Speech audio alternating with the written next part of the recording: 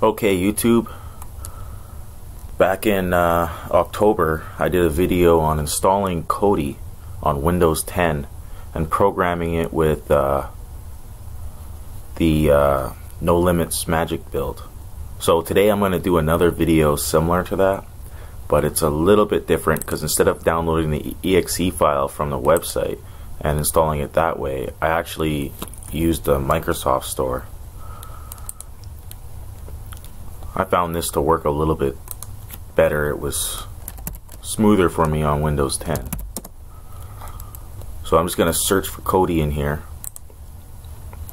Find this and click install.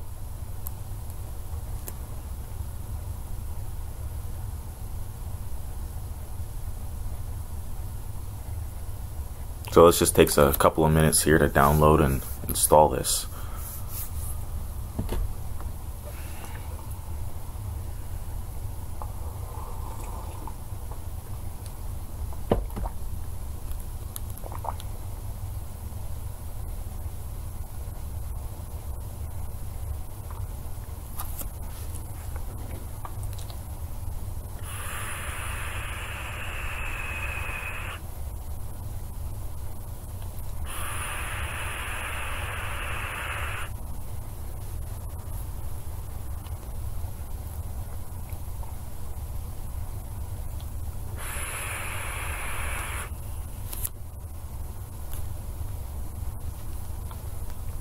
Alright, so now we're just going to go ahead and launch Kodi. And this is uh, 17.6. So here we are. So we're going to come into the settings.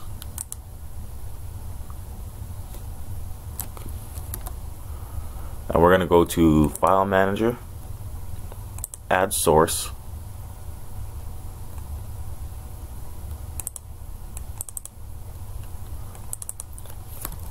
And here we're going to type in HTTP, then no limits, builds, dot com slash Kodi. And I'll put the uh, link in the description. And I'm just going to change the name to no limits. Click OK. Come back. You're gonna go down to add-ons. Click on the little box here. And we're going to go install from zip file.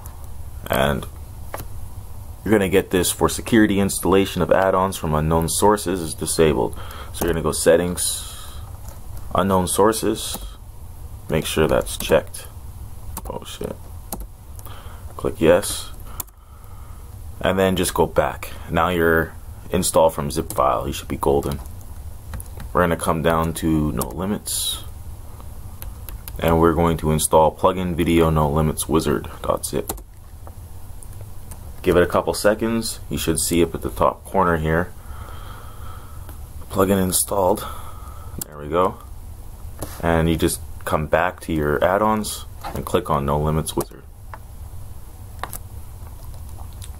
So I'm gonna go with No Limits Magic Adults. I'm actually gonna grab it from the second server.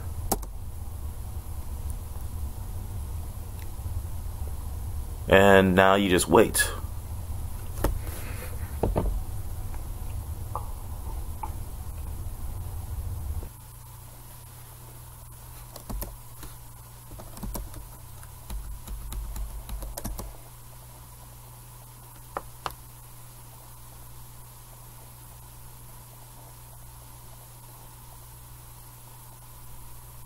So if you run a little bit slow like that, just switch to the other server and see which one is running faster. You're going to get one that's going to really take off.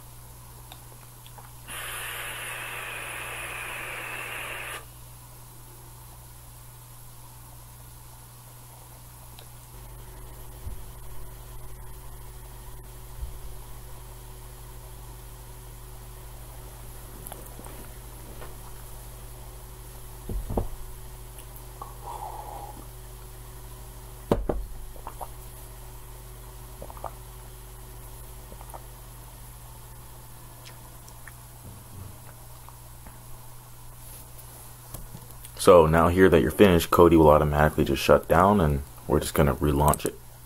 If it doesn't shut down, then you're going to have to force close and then reopen it. So here we go. We have Kodi all set up now. So this I find is a lot more stable and a better way to run it on Windows, you know, through the app rather than the exe. It's a little bit simpler to set up as well.